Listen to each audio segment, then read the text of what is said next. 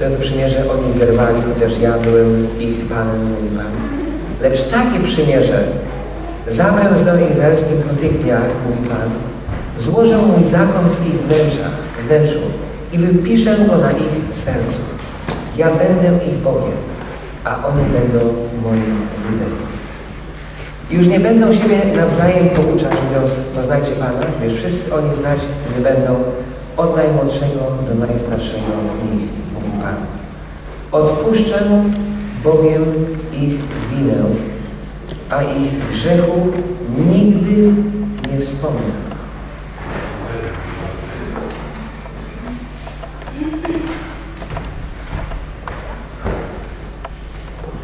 Wspaniałego Boga.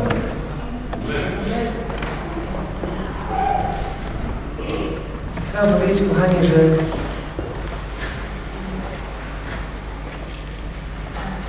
Bóg widział człowieka z jego skamieniałym sercem. I mówi, on tych praw nie potrafi udźwignąć. Ale zmienię jego serce. Swoje prawo włożę w jego serce, że będą mnie znali.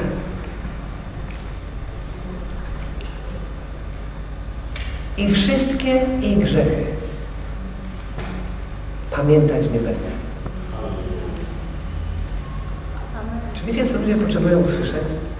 To, że Bóg naprawdę jest taki dobry, On nie chce pamiętać grzechu grzesznika. Ludzie myślą, że Bóg nie ma nic innego jak kartotekę tylko patrzy, co tam jest napisane. KGB niebiańskie. I dlatego niektórzy boją się przyjść do Niego. Ale mówi, że on, on zainteresowany jest nowym przymierzem. Takim, które po prostu nie będzie gdzieś tylko na tablicach kamiennych pisane, ale również wypisane na sercach naszych. I dzięki temu, dzięki tej Bożej łasce, wszyscy, co dzisiaj siedzimy. Wiecie dlaczego? Bo każdy z nas, bez względu na to, jakim dobrym wierzącym był, w swoim mniemaniu oczywiście, zasługiwał na karę śmierci. Pytając ludzi na ulicach, kim jest chrześcijanin, powiedział, że to jest osoba, która dobrze czyni. Osoba, która chodzi do kościoła.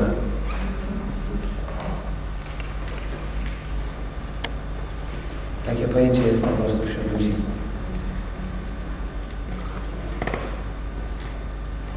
Dzisiaj bym mówić na temat tego serca. Gosia w modlitwie przed uwielbieniem mówiła, Panie, zmień nasze serca. To skamieniałe, jakiekolwiek tam jest. Powiem Wam, że no, przynajmniej tylu, co Was znam, to wiem, że Bóg Wam dał to serce. Macie serce, które, w którym Pan napisał swoje prawo. Wiecie, kiedy jest coś nie tak, kiedy robicie dobrze. Znacie. Mówi, chrońcie je, bo ono jest bardzo ważne. Nie wiem dlaczego, znaczy wziąłem ten mikrofon, ale chciałem zapytać. Wiecie, w telewizji teraz jest takie modne talk show, czy tam talk show, czy tam rozmowy w toku, tak? Może też potrzebujemy sobie porozmawiać tak z ludźmi, którzy są na, w tym audytorium, się możemy czuć jak w studio. Nagrywają tutaj kamera. Chciałbym Cię zapytać, co uczyniłbyś, gdybyś wiedział, że Jezus przyjdzie dzisiaj do Ciebie na lunch?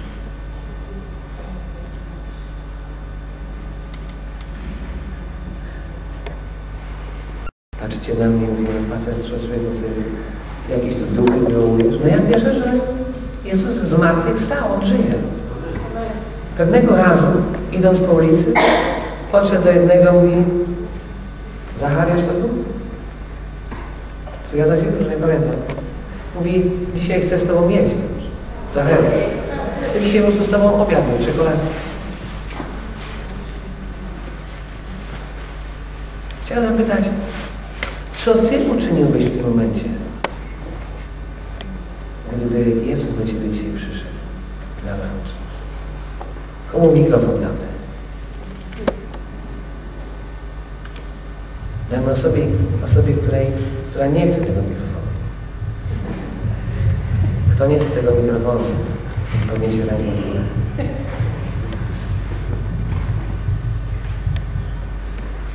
Ja to więcej nie przejmę. Z kościół pełen stresu. Wywołują normalnie z ławki jak w szkole do odpowiedzi.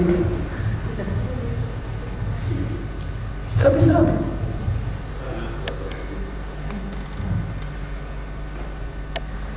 Słyszeliście, co Krzyś powiedział?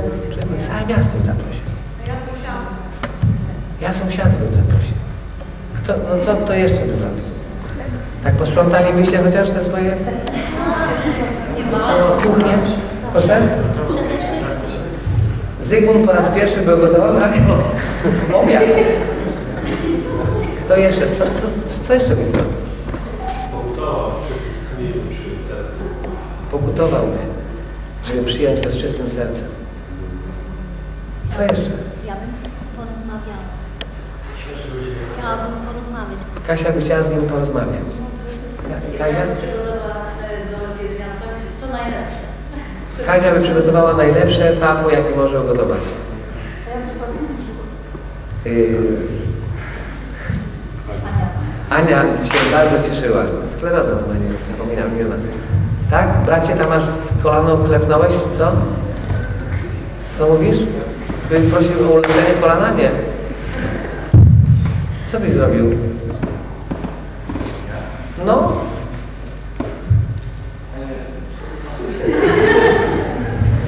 Niektórzy powiedzieli tak, przepraszam, wyjeżdżam. Pomyśl, co byś zrobił, gdyby Jezus przyszedł do Ciebie i powiedział chcę dzisiaj z Tobą kolację zjeść.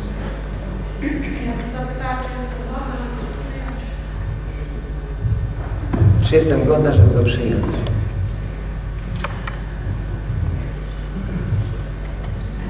Kochani, Jezus, On nie jadał z biskupem kamińsko-szczecińskim. Jezus powiedział, że On przyszedł do tych, którzy potrzebują lekarza.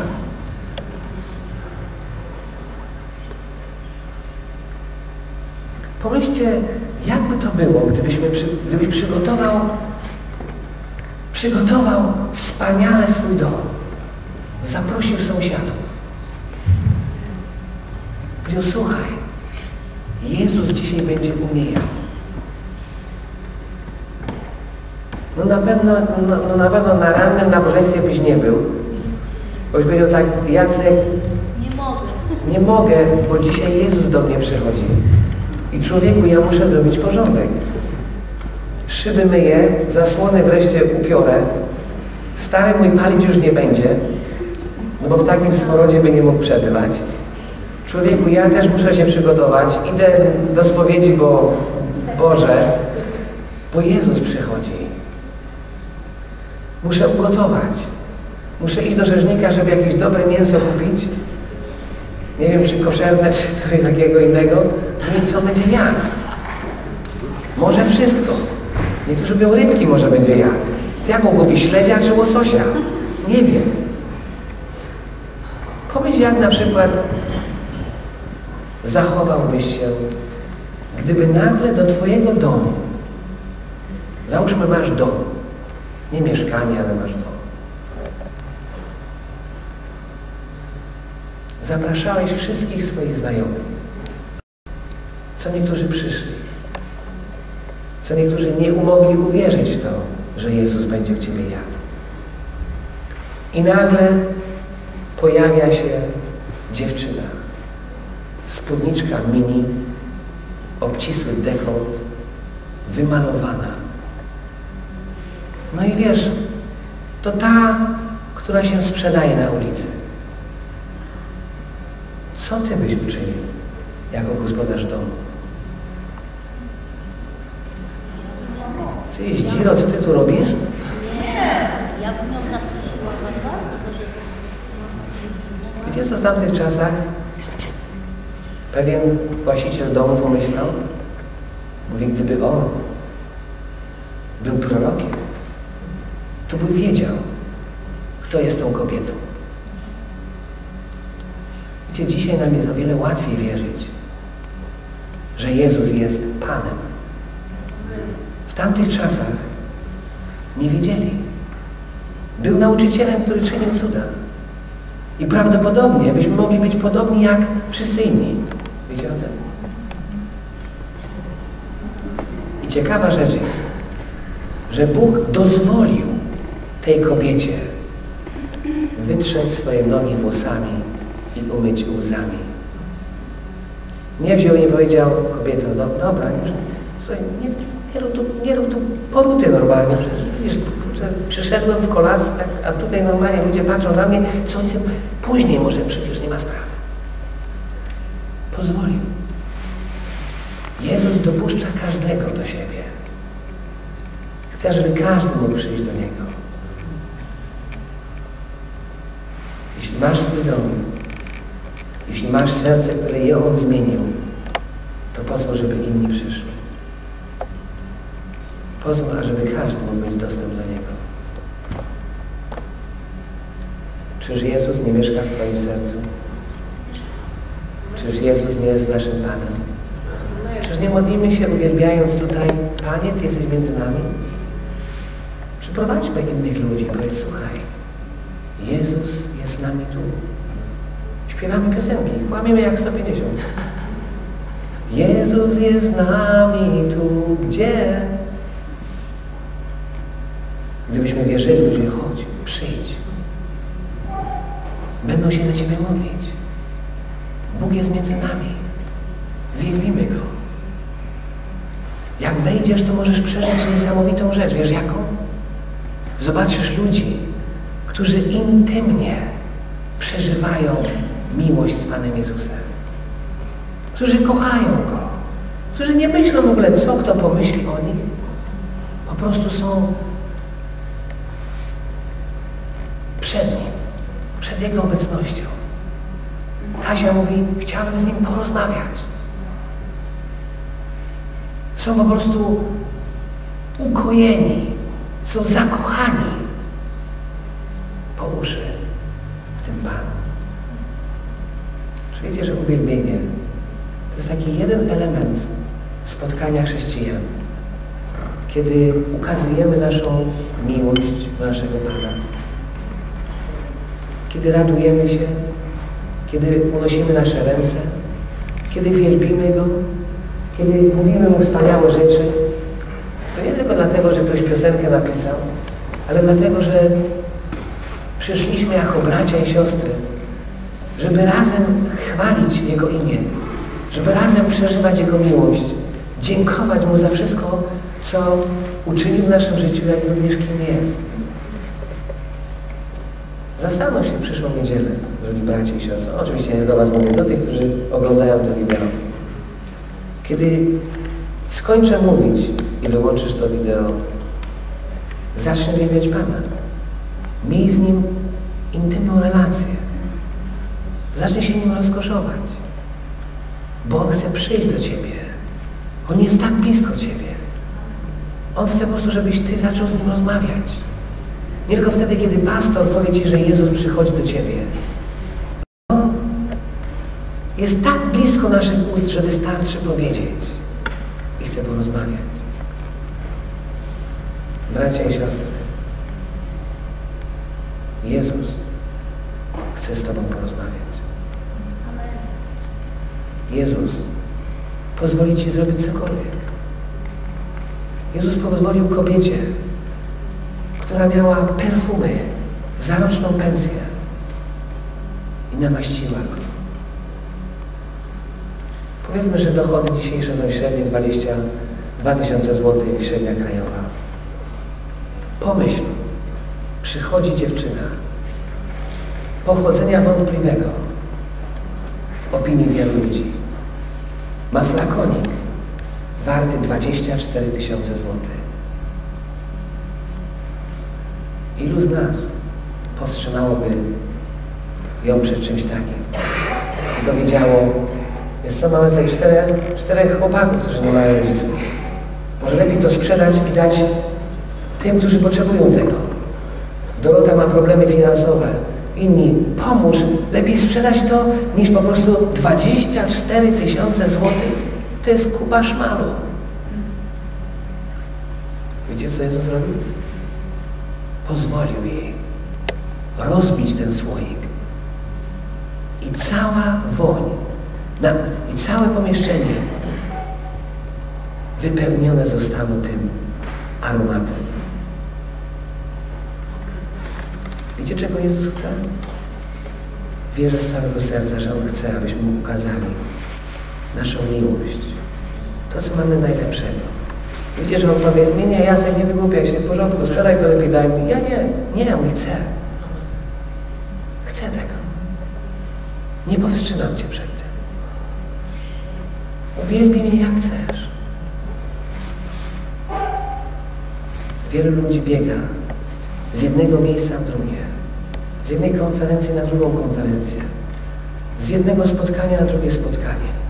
Dzisiaj przyjedzie tamten, jutro przyjedzie tamten, owamty, ponieważ są chorzy, ponieważ są, chcą mieć zbudowanie, czy coś, wiesz, nie wiem, coś brakuje im w życiu. Szukają tego czegoś. Pomyliło im się strasznie. Szukają Bożego błogosławieństwa, nie szukając Boga. Bracia i siostry, Pan ma dla nas wspaniałe dary, ale powiem Wam, największym darem jest On sam. On jest największym darem, największym skarbem. Niektórzy ludzie przychodzą, wiesz co, idę, bo mam dziecko chore. Może zostanie uleczone, bo chrześcijanie będą się modlić. Wspaniała rzecz, potrzebna. Ale największym darem jest znać Pana. Sądzicie, że dobrym, czyż, czyż niedobrą rzeczą jest być zamożnym? Pan chce, żebyś miał tyle, żeby Ci starczyło, jak i również innych błogosławić. Noż to zdanie nie mogło się tak kończyć. Mogłeś skończyć, żebym ja miał tyle. Tam innym dawać. Do roboty nie idą. Pan chce, żebyś miał dobre małżeństwo. Żebyś miał dobrą żonę, czy dobrego męża. Tak, On chce tego.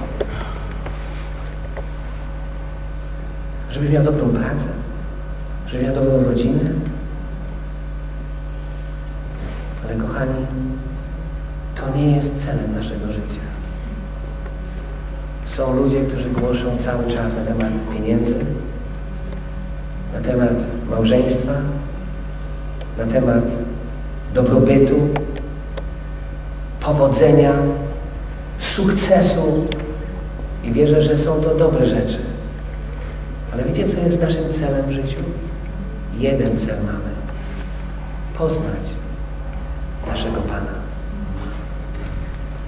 Apostoł Paweł napisał w liście do Koryntian, powiedział do nich w ten sposób, mówi, obudźcie się, mówię do was, swego Pana nie znacie. To jest przerażające, że chrześcijanie mieniący się tymi, którzy naśladują Jezusa, mogą Pana nie znać. Mogą Mu służyć, mogą przychodzić, robić wcześniej dwie godziny. Tak a propos dziękuję wszystkim tym, którzy usługują w tej kościele. Przychodzą wcześniej, rozkładają cały sprzęt. Naprawdę jestem Wam bardzo wdzięczny i wierzę, że wszyscy zgromadzeni doceniacie to, doceniamy Waszą pracę. Marek, dzięki ktokolwiek tutaj przychodzi, muzycy. Zgadza się bracia i siostry? Kiedy my jeszcze leżymy w łóżkach, oni już są w tramwaju czy w pociągu, w autobusie, przyjeżdżają, żeby służyć nam. Chcę powiedzieć Wam, że wielu ludzi również służy. Tak służy, zapomina, że to nie służba jest najważniejszą rzeczą w ich życiu, ale sam Pan. Zachęcam Was wszystkich, żebyście mogli zwrócić uwagę w swoim życiu na to, że mamy tak wspaniałego Pana,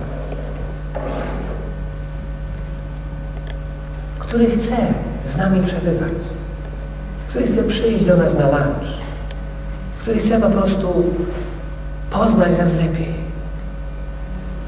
Nasze modlitwy, nie Wasza, może moja modlitwa będzie lepiej. Że tak naprawdę to mówię prawdę, wiecie o co chodzi. polega na tym, że przedstawimy mu całą listę zakupów, które chcemy, abyś do Żana poszedł. Skończysz mówiąc Amen i idziesz. A on mówi, poczekaj. Zenuś, poczekaj, ja chcę z tobą porozmawiać. Poszedł. Wiesz, że musimy być ludźmi, którzy będą pilnować swojego serca. Powiedzieć, Panie, ja chcę przebywać z Tobą. Ja chcę być z Tobą. Ja chcę poznać Cię lepiej.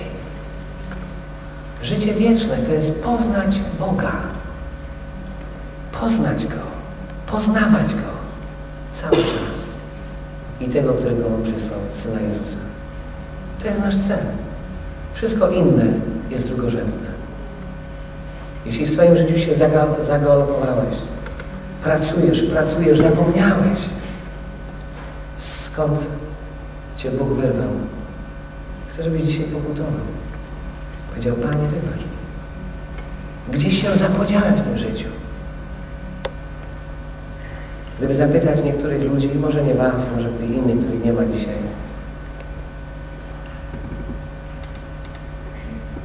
Dlaczego wierzysz? Co Bóg uczynił w Twoim życiu? Powiedzieliby człowiek. Bóg dał mi pięknego jeepa. Wiem, że jeepa nikogo nie ma, dlatego nikogo nie uważam. Jeepa człowieku normalnie, wiesz, Bóg mnie tak pobłogosławił, mam taką maszynę, że super. Inny powiedział, słuchaj, Bóg mnie uzdrowił, naprawdę jestem Mu bardzo wdzięczny. Inny powiedział, wiesz co, Bóg mi dał pracę, Wspaniała rzecz, mogę pracować dzisiaj, wiesz, super. Cieszę się, nie muszę się bać, że będę bezrobotny i na ulicy wyląduję z całą rodziną. Mam pytanie do wszystkich tych, którzy mogą się utożsamić z tymi odpowiedziami. Czy kochałbyś Pana, gdyby nie dał Ci jeepa? Czy kochałbyś nadal Pana, gdyby Cię nadal nie uzdrowił? Czy kochałbyś Pana nadal, gdybyś nigdy pracy nie dostał takiej, jak chcesz? Czy nadal miałbyś w sercu to, tą miłość do Pana? Czy to jest tylko biznes? Jestem Mu wdzięczny, bo coś mi dał. Jest taką miał swoją żonę i bo mi dobrze jeść daje, to ją kocham. Ale gdyby stała się kaleką i nagle jej obcięła jej dwoje, dwoje, obydwie ręce, czy nadal byś ją kochał? Czy nadal byś był z nią i opiekował się nią, gdyby się tragedia w jej życiu wydarzyła i nie mogła robić tych rzeczy, za które je kochałeś? Wierzę z całego serca, że musimy zweryfikować naszą miłość do naszego Pana. Za co? Jak dziękuję Bogu, bo mi interes dobrze idzie. A czy kochałbyś Pana, gdyby interes Ci nie poszedł już nigdy więcej w życiu? Jacek, czy kochałbyś Pana, gdybyś nie musiał już więcej głosić Ewangelii ludziom? Gdyby Bóg powiedział, Jacek, nie chcę, żebyś mi służył więcej w ten sposób, chcę, żebyś po prostu służył jako dyżurny przy drzwiach. Czy nadal byś mnie kochał? To pytanie musimy sobie zadać. Jest taki werset, który mówi w ten sposób. Izajasza, 40 rozdział, trzeci werset. Nie otwierajcie. 40 rozdział, rozdział trzeci werset. Przygotujcie na pustyni drogę Pańską.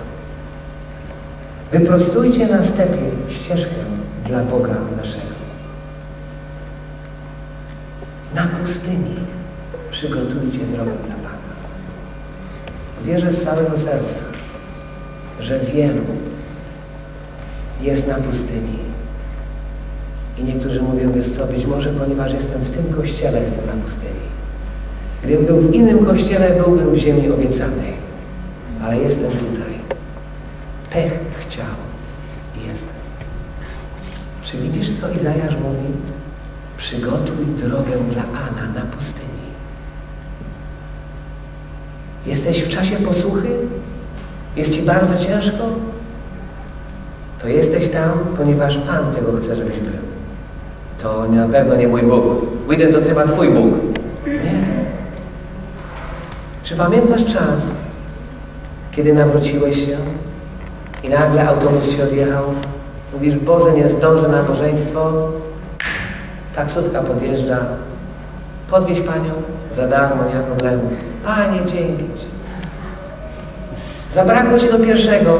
Nagle otwierasz drzwi, a na klamce widzisz i torba pełna jedzenia. Boże, wspaniały jest. Czy widziałeś tak, Bóg się troszczył Tobą, kiedy się nawróciłeś? No ja miałem to szczęście, że kiedy ja się nawróciłem, natychmiast poszedłem do szkoły biblijnej i te wszystkie cuda przeżywałem w szkole biblijnej. Dlaczego? Bo pieniędzy nie miałem. Panie, jak ja dziękuję. Nagle recepcjonistka mówi, Jacek proszony do recepcji. Ja mówię, Boże, dlaczego? Tam są dwie torby. Nie wiem, ktoś przywiózł darmą karteczkę. Chodziłem pełen radości. Ostatni miałem parę złotych, koron. Mówię, za mało, żeby żyć, za dużo, żeby umrzeć, jak to emeryci nasi mówią. Ale mówię, Panie, zaprosiłem jeszcze mojego czarnego przyjaciela, to znaczy z Afryki czarnego. Niektórzy myślą, że jakiegoś diabła, bo to czarny, rogaty. Mówię, chodź, idziemy jeszcze na kawę, a później resztę oddam Panu i pewnie umrę z głodu. Włożyłem do koszyka, Panie, błogosław to ziarno, więcej nie mam, co mam, to Ci dam, to było wszystko. Niechaj Twoje królestwo się rozmnaża. Skończyło się nabożeństwo, ktoś się odwraca i mówi, wiesz co, Duch Święty mi powiedział, że mam Ci to dać. I dał mi 30 razy więcej niż to, co dałem. No, fajna sprawa, zgadza się? Panie, dzięki Ci. No Ty żyjesz. Boże, Ty wspaniały jesteś. Idziesz i mówisz wszystkim. I później przychodzi czas, kiedy już jesteś stary chrześcijanin, dwa lata w Panu, Biblię już masz pod tym paznokciem. Nagle widzisz, że jeszcze coś tam się nie zgadza w Biblii, kurczę, coś tam, ten werset mi nie pasuje. No ale nic, już się modlisz. No bo trzeba się modlić, trzeba, wiesz, to wszyscy się modlą. No musisz dać za ten koszyk, bo co by sąsiad pomyślał, gdyby przeszedł i w koszyk byś nic nie włożył. No to udajesz nawet z pustą ręką, że wkładasz powietrze. Kochani,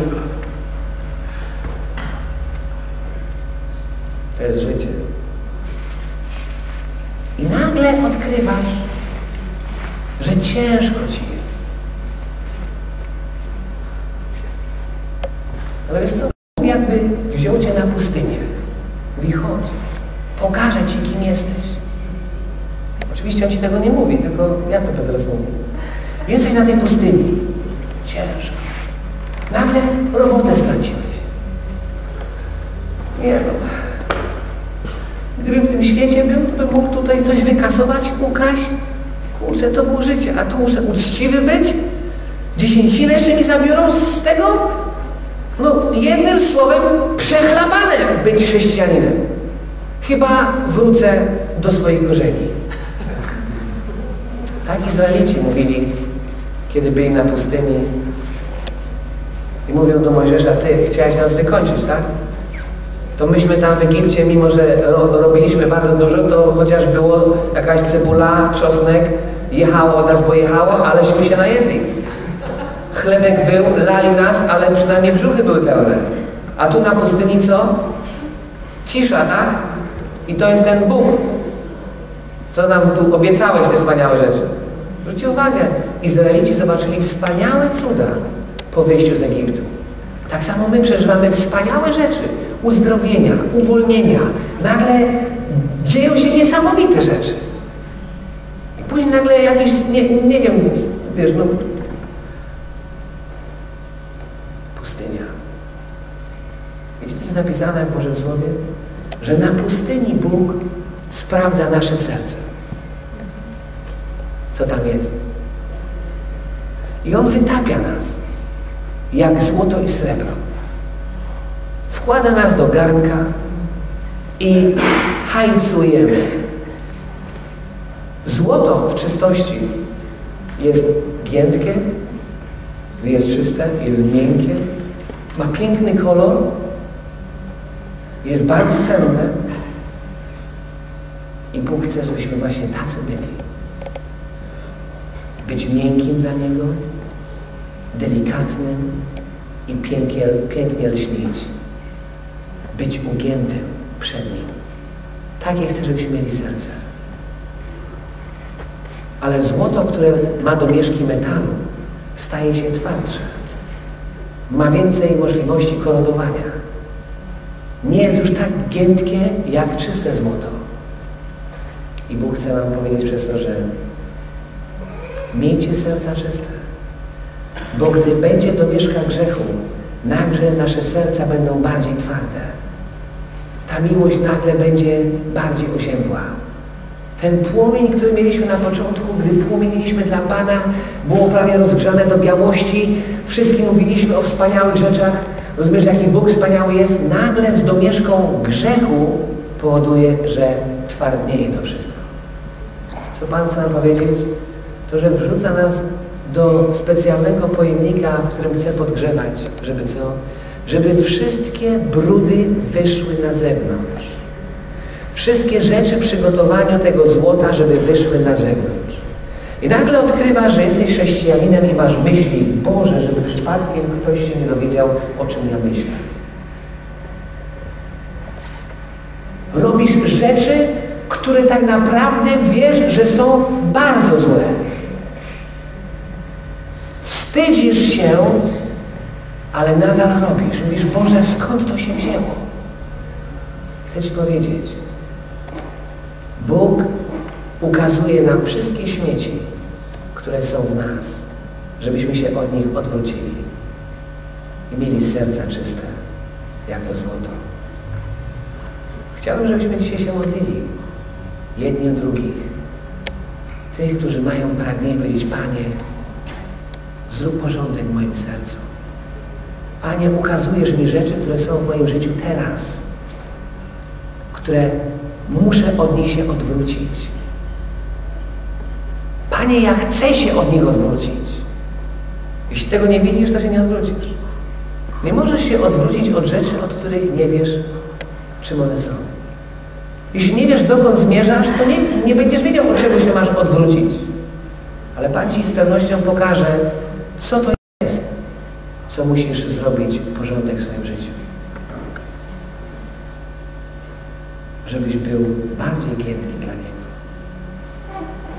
Żebyś miał bardziej, żebyś miał olbrzymią społeczność z Nim taką, jak On chce. Słyszałem, ktoś powiedział, że Biblia rozpoczyna się ślubem i kończy się ślubem. Bóg to jest jeden wielki kocha, chodzący kochanek. Ten, który kocha stworzenie swoje. Adam i Ewa pobrali się. Pierwsze stworzenia. Bóg ich złączył. Razem chodzili w jedności. Jak się kończy cała historia w Księdze Objawienia? Przychodzi Jezus po swoją oblubienicę. I będzie potężne wesele baranka. No mam nadzieję, że tam będziesz. Będziemy świętować. Przyjdzie po nas. Ale zanim przyjdzie po nas, przyjdzie do nas. O jest napisane, że Pan najpierw przyjdzie do swojej świątyni, zanim przyjdzie po swoją świątynię. Wiecie, co znaczy przyjść do swojej świątyni? Oznacza sąd tej świątyni. Wierzę, że Pan chce, żebyśmy przeszli przez tą pustynię naszego życia i doszli do ziemi obiecanej. Ale przed tą ziemią obiecaną jeszcze jest walka do wojna, bitwy, które trzeba wykonać. Ale nikt jej nie może dokonać, jeśli nie będzie polegał na Panu. Jeśli czytacie, niektórzy czytają na tych wysoce choroby w tym Starym Testamencie, łupią się, zabijają, wybijają do nogi, o co tu chodzi? Ale znajdujesz również między wierszami to, że czasami Izraelici przegrali, ponieważ grzech był w ich życiu. Rutyna była i przegrali. Ja wierzę z całego serca, że Pan chce nas wyprowadzić z pustyni naszego życia. Żebyśmy mogli zrobić jakiś atak, jakąś walkę pokonać, wygonić wszelkie, rozumiesz, e, wszystkich, rozumiesz, tych pogan z tej ziemi obiecanej, tak jak było napisane w, w, e, w, w Starym Testamencie, żeby posiąść ziemię obiecaną. Wierzę z całego serca, że Pan przygotowuje nas, pokazuje nam, zobacz, oblubienico, do Ciebie mówię, to jest Twoje serce. Musisz się zmienić. To nie jest do mnie, to nie jest do Ciebie tylko, to jest do nas wszystkich. To jest Twoje serce. Musisz pałać miłością. Pan przyjdzie do Kościoła, do swojej ulicy bez zmazy i bez skazy. I wiecie co? I On ją będzie przygotowywał. Jak? Przez gotowanie tego złota w garnku, aby ukazać te wszystkie brudy, żebyśmy się brzydzili nimi i powiedzieć, Panie, brzydzę się tego. Bóg mówi, to jest właśnie do czego chciałem Cię doprowadzić, żebyś brzydził się, odwrócił się i zaczął żyć czystym życiem. I dlaczego? Bo chcę przyprowadzić tutaj wielu. Ale nie przyprowadzę nikogo do miejsca, w którym nie, nie ma czystości. Miejsca, w którym nie ma świętości. W miejsca, do miejsca, w którym nie szuka się mnie, ale szuka się moich darów. I że Pan chce do nas powiedzieć. Przychodzę do Was. Wyprostujcie swoje ścieżki. Przygotujcie drogę na tej pustyni Waszego życia dla mnie. Bo wielkie rzeczy się dziać będą. Wiecie, od kogo zależy? Od Ciebie i ode mnie. Przygotujmy tą drogę dla Pana. Przygotujmy te domy na przyjście Jezusa. Powiedzmy nas naszym sąsiadom, że Jezus przychodzi. Nie wiem, czy wiecie, bracia i siostry, ale apostoł Paweł powiedział, jedźcie ten chleb i pijcie to wino do czasu, aż Jezus przyjdzie powtórnie. On przyjdzie ponownie, po swój Kościół, po nas. Teraz Was zaszokuję czymś. Kościół, który nie głosi Pana Jezusa, to nie jest Kościół. Kościół, który nie głosi Pana Jezusa, to nie jest Kościół. To nie są Boże dzieci. Kościół, który nie ma w sercu innych, żeby się nawrócili do Pana, to nie są chrześcijanie. To nie są Boży ludzie. To jest klub, który nazywa się tak, ale nie jest. Kościół to są ludzie, którzy w sercu mają współczucie do ginących sąsiadów, którzy mieszkają obok. To są ludzie, którzy mają relację z Panem, kochają Go.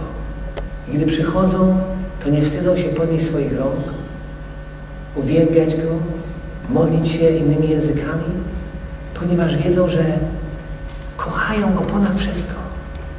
Kochają Go bardziej niż opinia człowieka, który stoi po lewej czy po prawej stronie. I mówią, mogę być głupotą tego świata, ale Pan mnie znalazł. Pan mnie zbawił. Może nie wyglądam i nie uzdrawiam ludzi jak Benny Hinn w aksamitnym swoim garniturze z piękną fryzurą, ale Bóg dał mi ręce, żebym nałożył, żeby ten człowiek uzdrowiony został. Może nie głoszę jak, jak Billy Graham na wielkim stadionie do tysięcy ludzi, ale głoszę sąsiadowi, który potrzebuje zbawienia. Nie patrzmy tylko na tych wielkich Bożych mężów. Pan włożył swoje przymierze w Twoje serce. Nie ma takiego drugiego Adama Salika, ani drugiej Kazi, ani kogokolwiek innego jak Ty.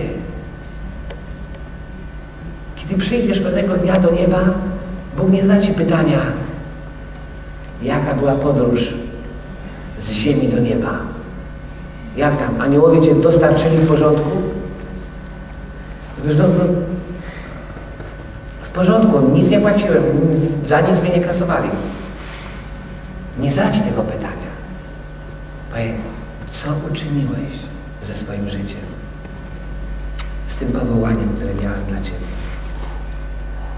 Ostatnio jadąc z Berlina do, do Szczecina, mówiłem przez dwie godziny o tym, jak Pan mnie powołał. Człowieka, który był wrakiem. Człowieka, który nie miał żadnej nadziei na pomoc. Człowieka, który stracił nadzieję na wszystko. I Bóg takiego śmiecia wziął i mówi powołuje Cię do mojej służby. Myślałem, że mam być ministrem Szwecji na początku. Bo Bóg do mnie powiedział po angielsku. Później okazało się, że mam być chyba księdzem. Miałem z tym wielki problem. No bo chciałem mieć żonę, wiadomo, te sprawy seksualne uregulowane. Chciałem mieć dzieci, wypić, zapalić. Myślałem, że jako ksiądz tego nie mogę robić. No ale widzę, że to jednak Bogu coś innego chodziło. Wiecie, Bóg mnie nigdy nie pytał, pokaż mi swoje świadectwo, jak tam maturę zdałeś. Mam maturę, halo. Niektórzy kiedyś szukali, czy maturę w ogóle ten Widerman. Nazywam się Jacek Mojsiejów. Tak prawdziwie. To nie, że uciekam przed policją, ale ponieważ mój tata powiedział, nie chcę, żebyś szmatławił mojego rodu swoim Ewangelią. Wziąłem nazwisko żony. A dzisiaj wiem, że Mojsiejów oznacza Mojżeszowy.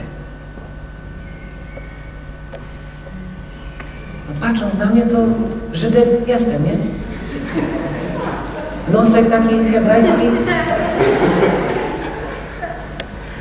Gadka, szmatka, tu coś tego. Oddajcie życie Jezusowi.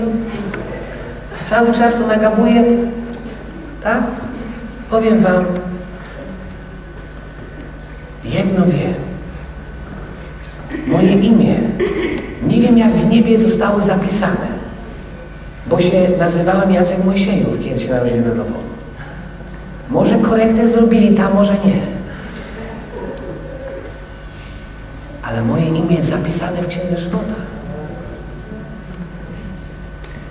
I kiedy przyjdę do Pana pewnego dnia, zapyta mnie Jacek Mojsieju Wójden, jestem. Co uczyniłeś ze swoim życiem?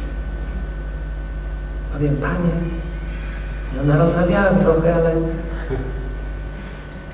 chciałem jak najlepiej. Wiecie, co chcę, żeby powiedział? Dobrze uczyniłeś. Wierny sługo. Chcę tego. Wczoraj słyszałem, jak będę płakał, o dzieciach, które uszu nie mają. Są dzieci w świecie, gdzie uszu nie mają. To nie dlatego, że się urodziły bez uszu, ale ponieważ szczury im obgryzły uszy, bo mieszkają na ulicy. Jak błogosławieni jesteśmy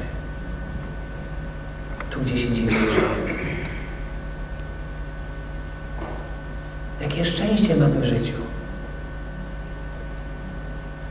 że znamy Pana i jeszcze mamy co jeść. Że nikt nie czeka na nas, żeby się nas zabić po wyjściu z tego pomieszczenia. Ale tysiące ludzi potrzebuje pomocy. I tysiące kilogramów żywności marnowane jest, bo nie ma kogo, kogoś, kto by się tym zaopiekował. Nie ma ludzi, którzy by mieli wizję, jak nakarmić tych małych ludzi, którzy chodzą i nie mieli szczęścia urodzić się w normalnym domu. Kościoły są na każdym rogu. Czemu karmią? To jest wątpliwe czasami. Dlaczego? Mają dotacje z państwa, biznesy kręcą, ale jakie jest serce tych ludzi? Co jest wewnątrz? Czy tylko kilka sióstr zakonnych? A co z tymi, którzy chodzą do kościoła i się nazywają kościołem? Wiem, że jesteśmy małą grupą, ale bracia, potrzebna jest może jedna osoba, która zapali serca innych. Potrzebne jest kilka piekarni, żeby dotknąć serca tych ludzi, którzy z pewnością chcą, dają chleb świniom, bo nikt nie przyjdzie, żeby nakarmić biednych. I wyrośnie pokolenie ludzi, którzy nigdy nie doświadczyli miłości Bożej, bo chrześcijanie nigdy im nie głosili, nigdy w sercu nie mieli biednych. Czyż Ewangelia nie jest dla biednych zwiastowana? Czyż Ewangelię Jezus biednym nie zwiastował? Czyż nie przyszedł do tych, ażeby ukazać im miłość Ojca? Pomyśl, pomyśl o bezdomnym, który, który no zdarzyło się mu w życiu coś strasznego.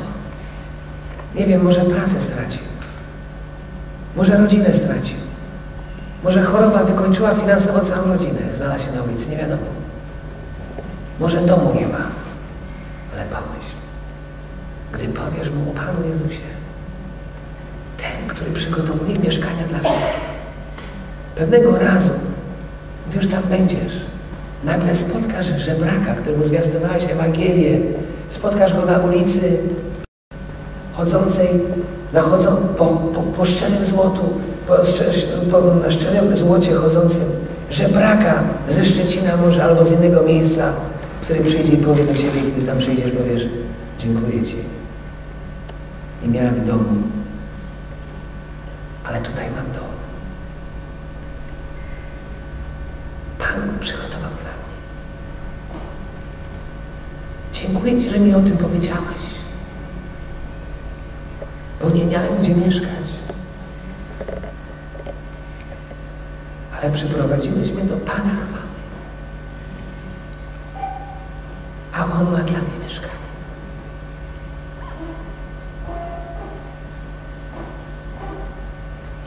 Kimkolwiek jesteś, chcę, żebyś swoje serce dzisiaj.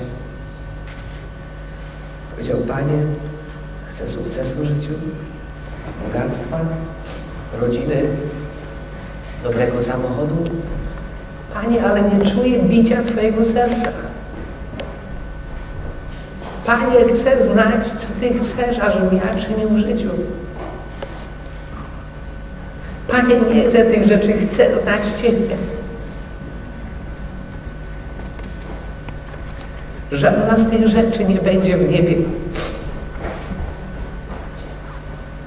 Ani samochodu tam nie zabierzesz, ani roboty swojej.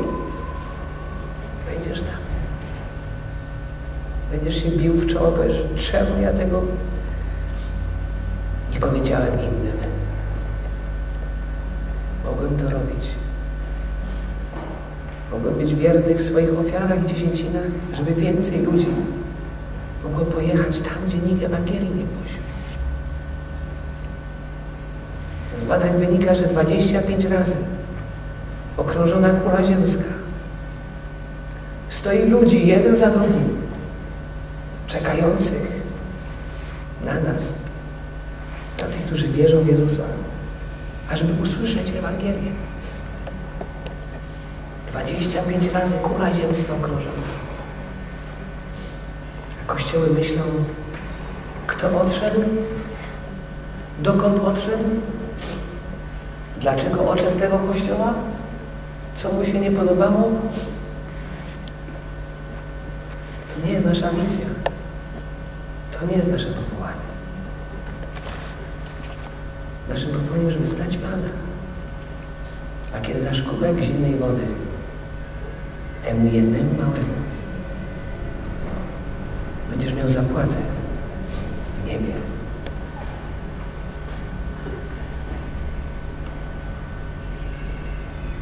Może jesteś na tej sali.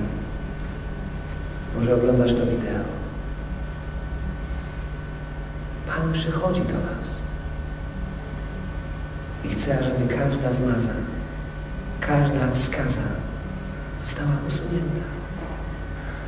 Abyśmy w sercu swoim mieli miłość do tego bliźniego, który jest wokół nas. Tak Jezus nie odrzucił prostytutki, nie odrzucił skorumpowanego celnika, nie odrzucił złodzieja czy mordercę, mordercę, czy tego, który na krzyżu wisiał obok niego. Powiedział, że dzisiaj ze mną będziesz w raju. Prostytutki, złodzieje, chuliganie będą pierwszymi, którzy będą chodzić ulicami nieba. Bracia i siostry. Jeśli chciałbyś dzisiaj odnowić swoje przymierze z Panem, odnowić swoją relację z Panem, odnowić Twój związek z Panem, chcę się za Ciebie modlić.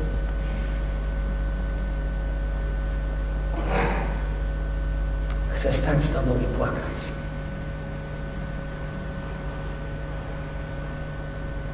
Chcę, żebyś wyszedł z tego budynku inną osobą. Żebyś powiedział, Panie, moje życie musi ulec zmianie. Chcę mieć tą pierwszą miłość w swoim życiu.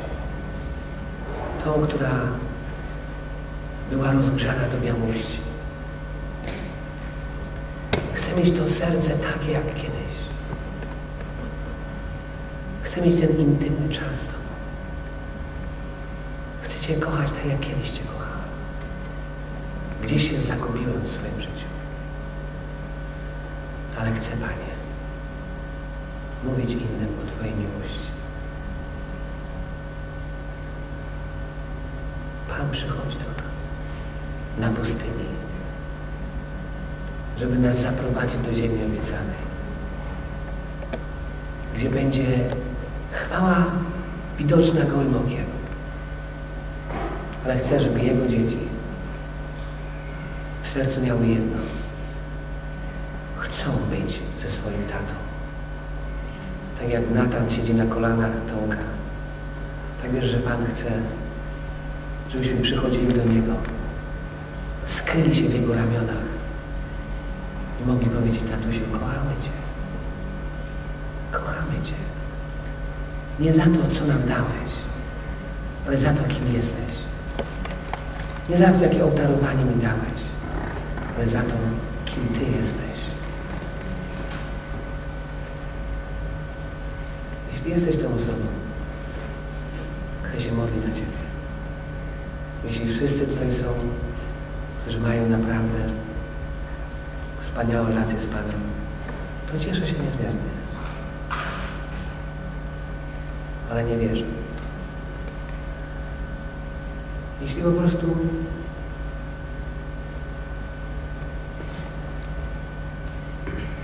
chcę Ci jeszcze coś powiedzieć, zanim wyjdziesz albo nie wyjdziesz. Pewnego razu przyszła prostytutka do Jezusa. Padła na kolana zaczęła swoimi łzami mieć jego nogi. Wiecie co? I nie myślała ani przez sekundę, co ktoś pomyśli o niej. Wyszła, weszła pod stół i żałowała za wszystkie swoje rzeczy. I wiesz, co Pan zrobił? Oczyścił ją. Wybaczył jej wszystkie grzechy. Wyszła i z pewnością nie grzeszyła więcej. Wiecie, co potrzebujemy? Radykalności w naszym sercu. Radykalności w naszym życiu.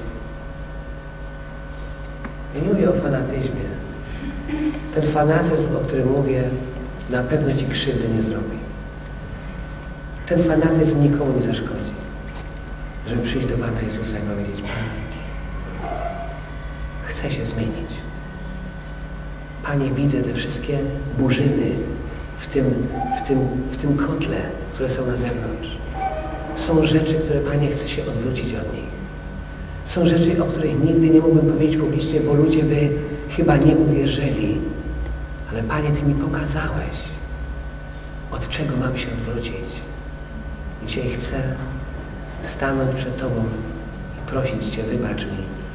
Odwracam się od tego swojego życia. Panie, uczyń ze mnie na naczynie, które będzie użyteczne w Twoich rękach. Żeby ten Kościół był świętym Kościołem. Żeby ten Kościół był oblubienicą bez skazy i bez mazy.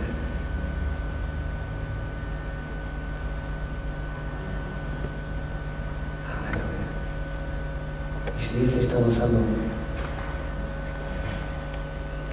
i chcesz, żebym się modlił, możesz wyjść. Jeśli nie chcesz, możesz siedzieć dalej. Ale chcę, żeby Pan zrobił, przyszedł po ten kościół powiedział, Panie, powiedział, to są ludzie, którzy kochają mnie. To są ludzie, którzy kochają innych. To są ludzie, którzy chcą zmieniać się. To są ludzie, którzy mają serce jak złoto, które jest miękkie, giętkie, lśniące, nierdzewiące. To są ci ludzie.